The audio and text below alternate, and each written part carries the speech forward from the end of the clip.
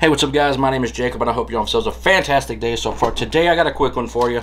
Nothing special. It's just a fluorescent strip light. Can I fit this all in frame? Oh, that's good enough. It's a two-foot um, fixture, and we'll go ahead and open it up. I put a T12 bulb in it when it when it really takes a uh, a T8. As you guys can see, you can see those starter sockets, starter sockets, those uh, lamp holders it's very slim. I don't know what I'm going to do with this. I think I'm actually going to put this in the garage. As you know, everything is going to LED. We can get a close-up on the ballast there. If it'll decide to focus. There we go. You can read whatever you want on there. I'm recording 4K. You should be able to read this entire thing. So, anyway. Um, I did try to see if this was able to be preheated, but it's not. You cannot preheat it. Some of these ballasts, some of these electronic ballasts, you can just add a starter in line, and it will um, it'll preheat. But that's not the case. We'll go ahead and put this back on, and just like the uh, video before, or I don't know when I'm gonna upload these, I'm using these what's called Wago connectors. Come on. I'm using what's called Wago connectors. You just take these uh, little levers, you put the wire in like this, Oops, didn't do it right. You gotta push it all the way back in there. And then there you go. You got yourself a secure connection. Just like that.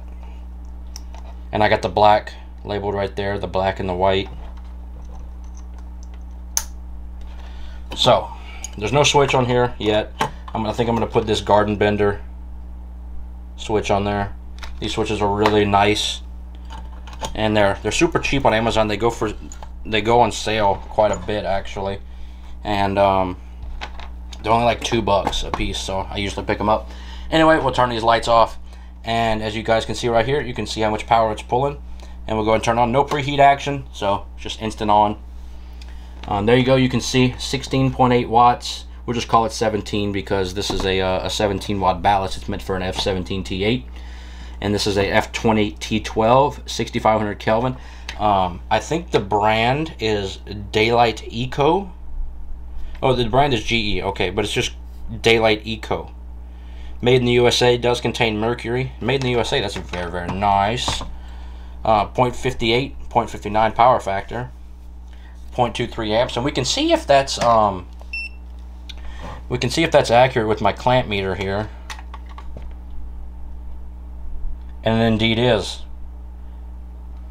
As you guys can see there 0.23 on the meter over here and 0.225 on the clamp there. I would call that spot on. So anyway we'll turn it back off. And then I'll hold it above the camera. I'll hold it above the camera over here.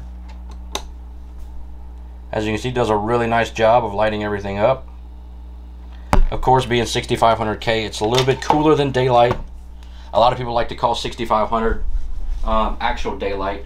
But actual daylight, excuse me while I grab another bulb. Actual daylight is actually 5800 Kelvin, about 50. In filmmaking, I'm actually a filmmaker. In filmmaking, we're actually using 5600 Kelvin as daylight. So, once again, this one is um, 6500. You can look at the edge there. I kind of messed it up. I tried to take the, uh, the letters off.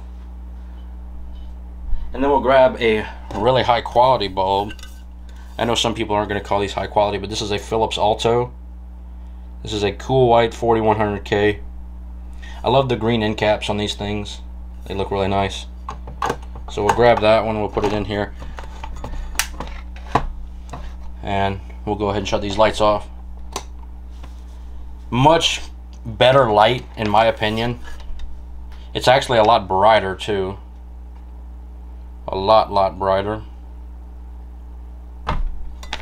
So anyway I think that's going to conclude the video and it's again it's only pulling 16.8 uh, watts 0.59 power factor. Anyway I hope you all enjoyed this review on this. This is a Lithonia uh, T T8 two foot mini strip I hope you all enjoyed this review. If you did, make sure to like, comment, subscribe, do whatever you want to do. And I will see you all in the next video. My name is Jacob. Have a great day. Peace.